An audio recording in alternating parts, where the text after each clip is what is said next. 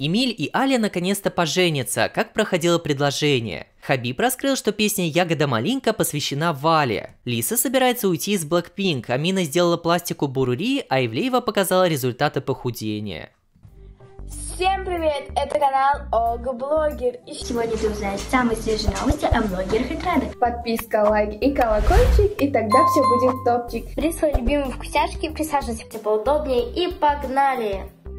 Сразу сделаю, возможно, для кого-то печальное объявление. Я впервые за два года решил взять себе отпуск буквально на 7 дней. Начнется он в это воскресенье и продлится ровно неделю. Выпуски, как вы понимаете, выходить не будут, я их физически не смогу выпускать. Крайне опубликую либо завтра, либо воскресенье, а уже после только 25 сентября. Если вы совсем не можете без новостей, у меня есть телеграм-канал и группа ВК, где я продолжу делать посты. Все ссылки есть в описании под роликом. Отдохнем немного друг от друга, а потом уже с новыми силами войдем в прежний ритм с обсуждением самых горячих инфоповодов. В сети пошли слухи, что Саша Тессант и Лиза Барашек обручились. Все из разлетевшихся кадров, где они в ЗАГСе сидят на церемонии и подписывают документы о браке. На постанову не похоже, но интересно, что ни один из них об этом даже малейших упоминаний не делал. Есть версия о фиктивном браке для оформления документов на визу. Лидия уже около года или даже больше не дают шенген по непонятным причинам. А так как Саша учится в Париже, приходится строить отношения на расстоянии, что не очень приятно. В статусе же мужа и жены их шансы сильно повысятся. Ну а когда они созреют до реального брака, можно будет уже чисто сделать красивую церемонию без всей бумажной волокиты. А вот Эмиль наконец-то сделал предложение руки и сердца своей девушке Али Яникеевой. Она в тот день ничего не подозревала, так как все снималось под видом ролика для ютуба с квестом в разных локациях конечной точкой которого стала небольшая база на природе с озером, где они спустились на лодку, а вокруг их украшала куча огней, за кадром же стояла семья, родственники, друзья, которые с нетерпением ждали вот этого момента.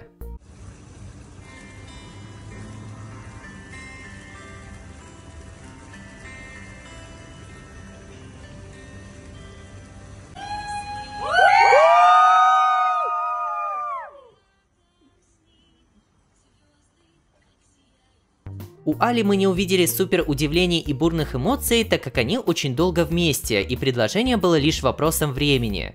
Но будущая невеста все же потом расплакалась. Эмиль, созданная обстановкой, исполнил ее мечту, ведь она хотела, чтобы предложение прошло именно так на лодке под красивым ночным небом. Поздравляем и ждем свадьбу, которую проведут, скорее всего, уже в следующем году.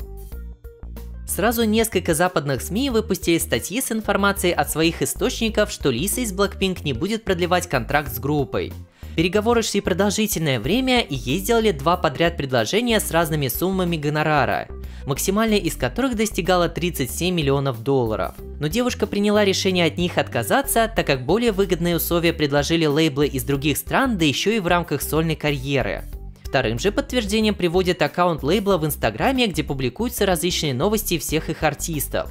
Так вот, там постят все, что происходит с Дженни, Джису и Розе. А последнее упоминание Лисы было аж два месяца назад, когда как раз появились первые слухи о трудностях переговоров.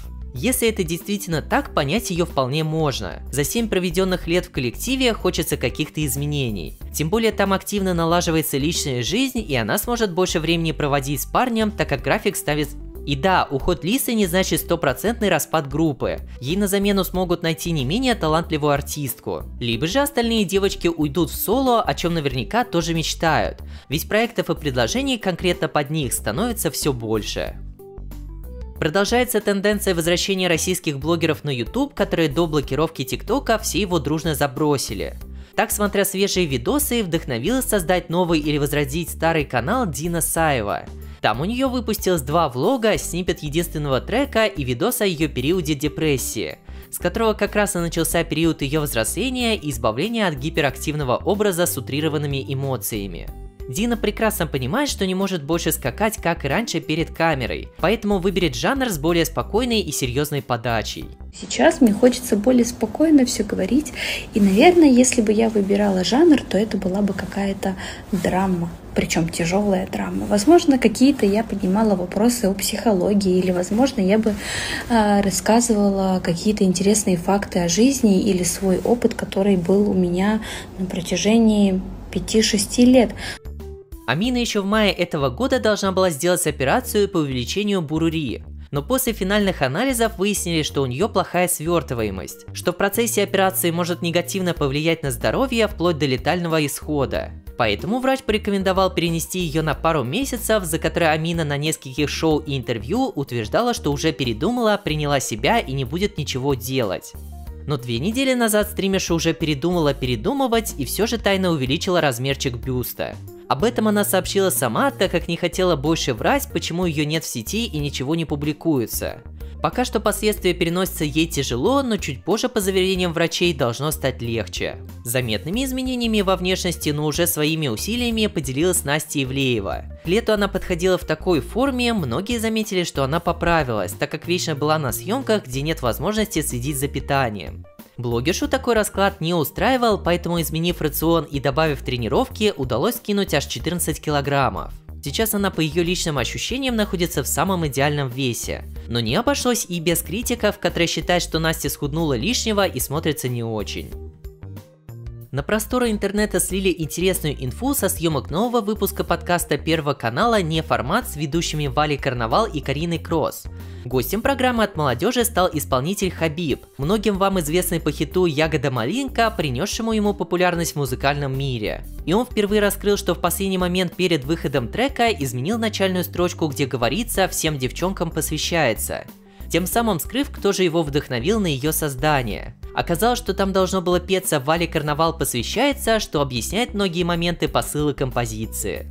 И я придумал вначале какое-то обращение, э, ну, там же есть «Всем девчонкам посвящается», но изначально была другая версия. Я записал, ну, я такой думаю, что-то записать, кого бы, кого бы, кого бы, и я, я, я записал именно фразу «Вале карнавал посвящается».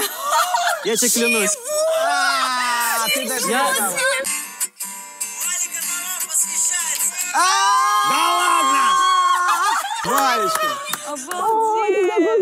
Ты сделал мне не день, год уже. Вполне возможно, что в тот момент Хабиб был тайно влюблен в Валю. Не просто так же он хотел поставить в текст именно ее имя. Но прошло уже много времени, поэтому сейчас это больше красивая история, которая долго хранилась в секрете. А вот на съемках другого шоу, где гостем была Генсуха, одной из ведущих Милана Некрасова, выяснилось, что молодая лайкерша терпеть не может холодец.